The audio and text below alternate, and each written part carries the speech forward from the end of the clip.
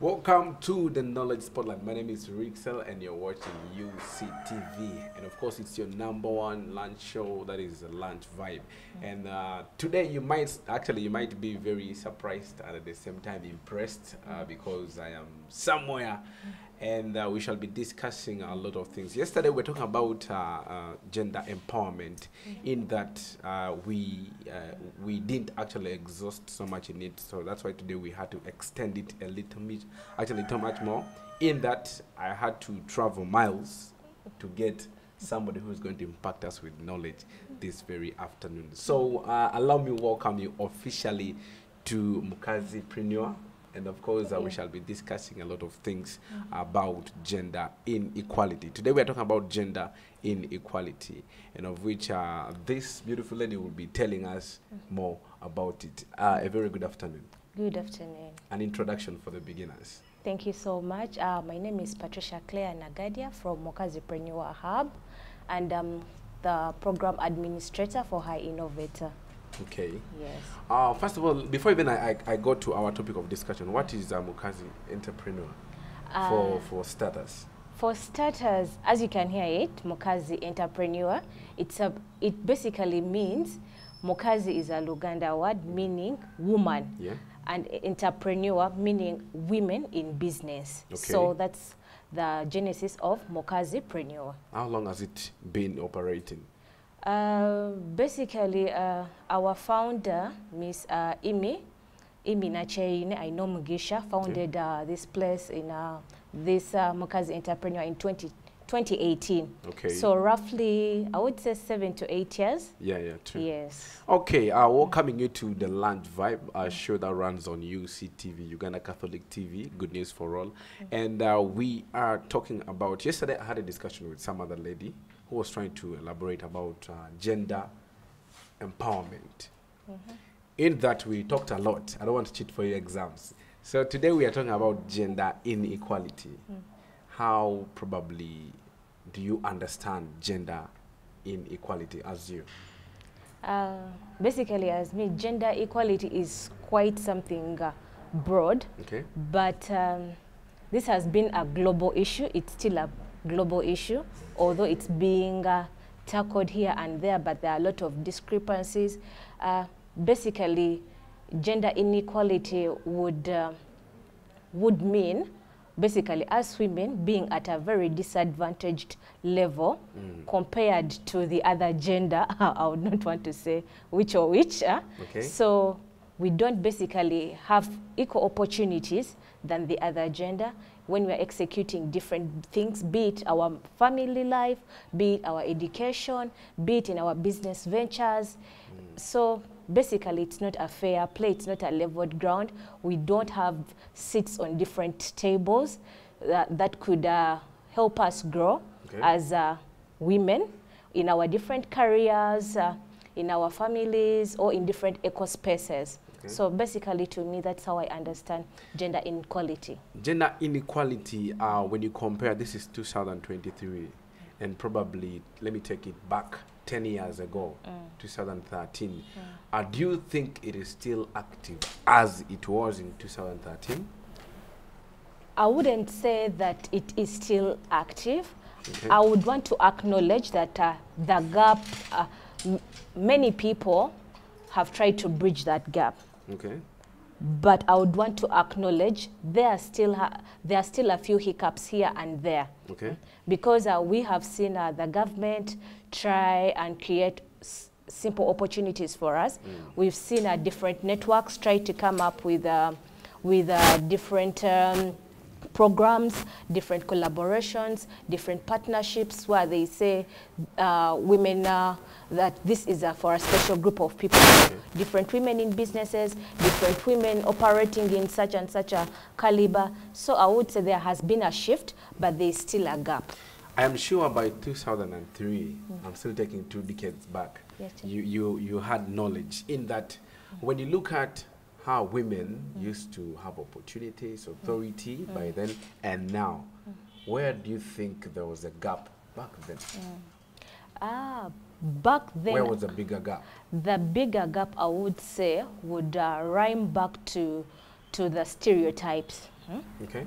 you would, uh, back then, as a woman, I was expected immediately after school, that I would say high school, the best thing for me as per our communities or society norms was to enter into a marriage Okay.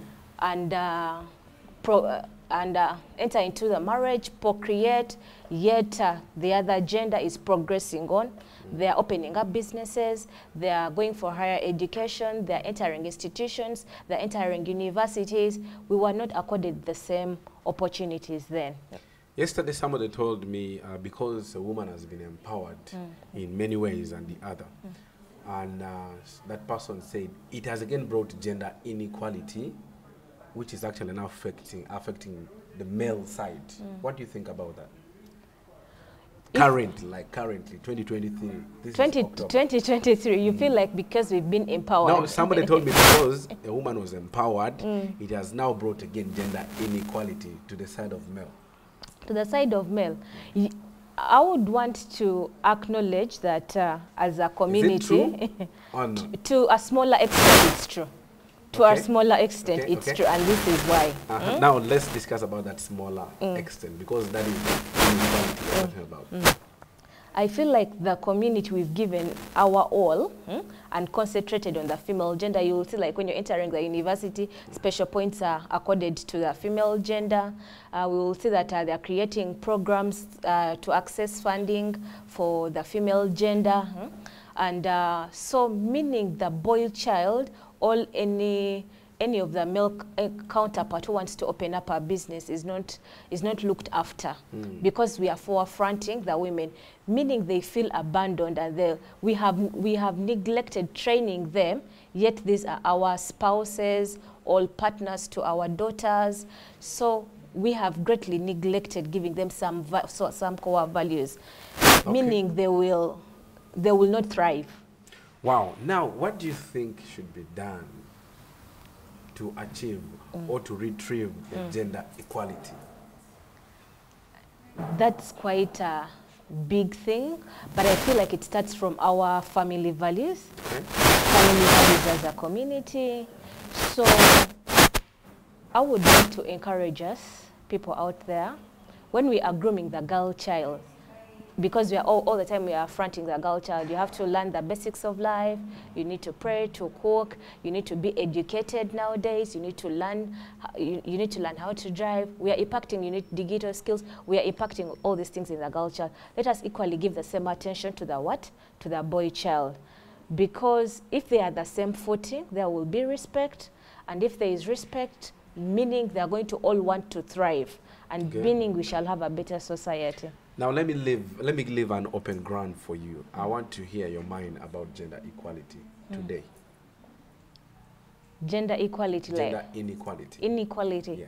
Today, Today. today, what today what it looks like, I would term it in terms of uh, access. What I know best, access to resources.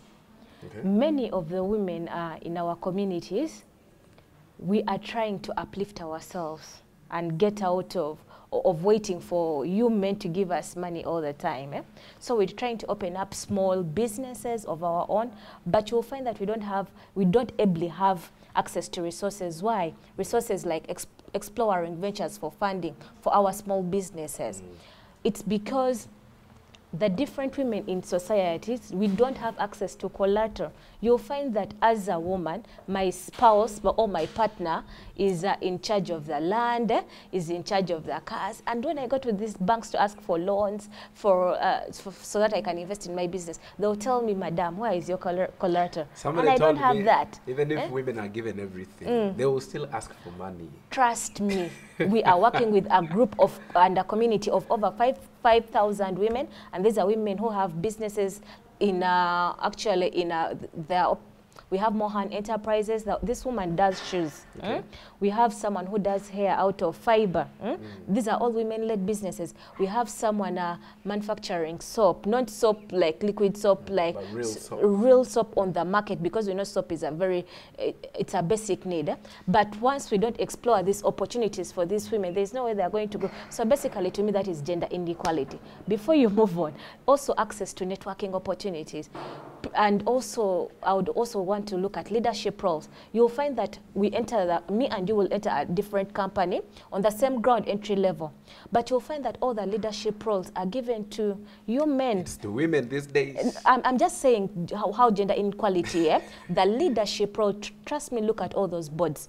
You'll find that you'll find an aggressive woman, you will have to fight twice as hard because they will look at me and they will say, I'm going to get As, pregnant. as I'm winding up, should I give you an example of, um, Axel, our country? This Mm. is something we were discussing yesterday. Who is the Prime Minister of Uganda? Who is the Vice President? when has it come? Who is the Speaker of Uganda? the woman-led government, when has it come? Just recently here. Okay. It has taken course, how uh, many years to get right, here? All right. Uh, the conversation is a bit broad, and of which uh, we are discussing about uh, gender inequality.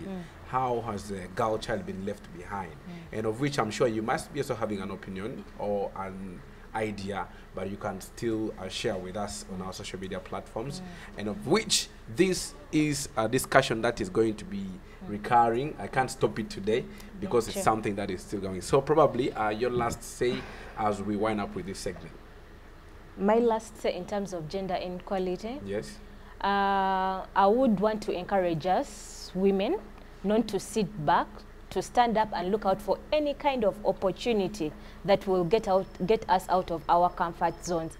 Let us network. Let us join different forums where there are different kinds of women doing, di- venturing into different uh, activities. I believe we can grow and get out of our comfort zones. Okay, and of course, as we sign out, is there any, any song you're dedicating to anybody out there? Any song of your choice? Any song of my choice. I love music, but at the moment I'm caught off guard. okay, let me take you through this one. Of course, it's been the Knowledge Spotlight on UCTV, and of which uh, this is a segment that is under the lunch vibe. We shall be coming back straight away. Keep it locked.